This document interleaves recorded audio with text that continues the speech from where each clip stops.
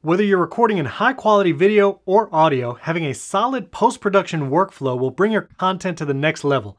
Obviously, you want to start with the cleanest recording possible, that's why you use Riverside, but sometimes you or your guest may have background noise in the recording. Maybe the image was recorded in low resolution, or you just want to have pristine and properly equalized audio. Well, here are some strategies for having a streamlined and quality post production workflow. Before you do any editing, cleaning up your audio and video is key. If you or your guest audio was damaged during the recording, or maybe there's some background noise, here's some software tools to try.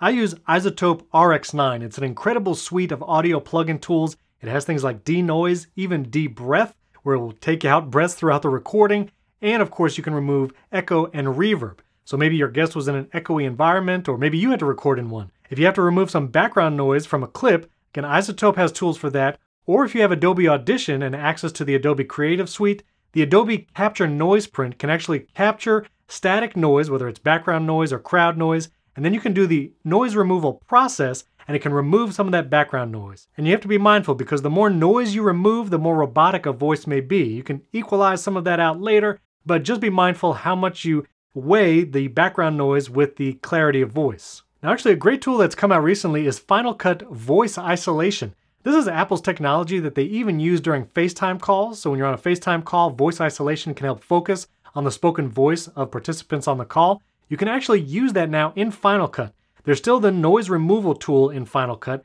but now voice isolation I actually find works incredibly well. Whether it's an echoey environment or there's background noise, try out that voice isolation feature. It's just a toggle with a slider that goes from 0 to 100 and I have found that I can crank that up pretty high and it still keeps clarity and understandability in the spoken voice. Now when it comes to repairing video, it's actually more difficult because you're dealing with lots of pixels, it can be processor intensive to run some of these plugins, but there are some tools you can try.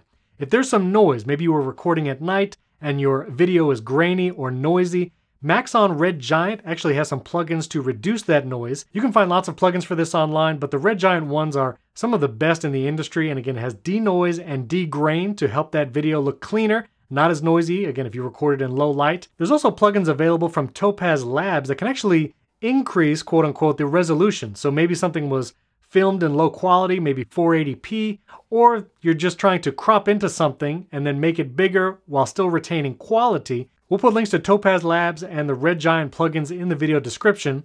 And of course, if you're talking about color grading, maybe you filmed in HLG or some kind of S-Log format on your camera, a very flat profile that looks gray until you do some kind of color correction on it, you might want to use something called a LUT. L-U-T, it stands for Lookup Table, and LUTs are available to purchase from many different YouTubers online and different camera manufacturers.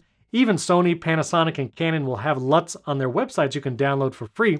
And a LUT takes some of that log footage or very flat footage and provides just kind of a base level color, helps you get started, and then you can tweak more color from there. We'll put links in the video description to some LUTs you can try. Now once you've done any repairs to the audio and video that you can, it's time to clean and process the audio itself.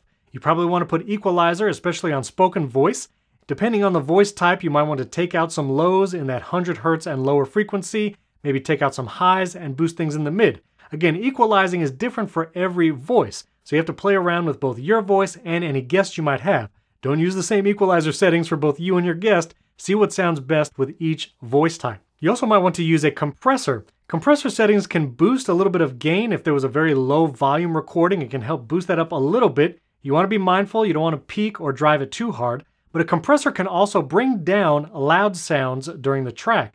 Let's say your guest laughs very loud, but talks very quietly. This way, when someone's listening, the laughs aren't shocking or abrupt, and they can actually hear when the person's speaking as well. Play around with the threshold for compressor and the ratio. The ratio setting in a compressor decides how much the volume is lowered, while the threshold decides when the compressor kicks in.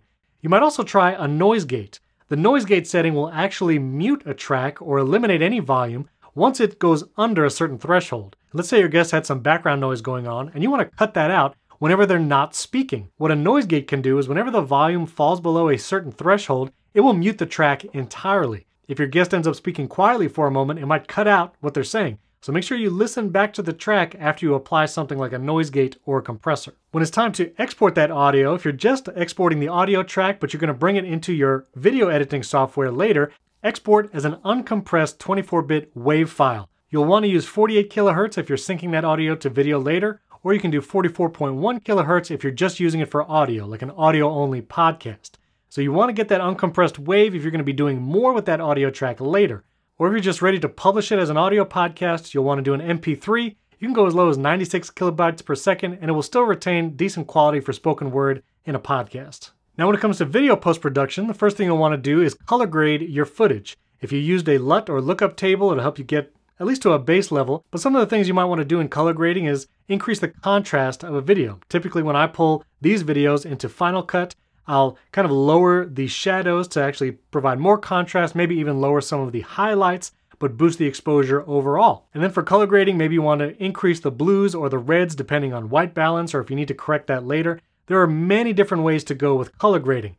We'll actually refer you to Tyler Stallman. His YouTube channel has great resources on color grading, and so we'll link to some of those videos in the video description. And depending if you are using a handheld camera or you have some shaky footage, you can use stabilizing and rolling shutter to try and make that footage a little more viewable. Stabilization will reduce motion like this or shaking in the camera if you are handheld.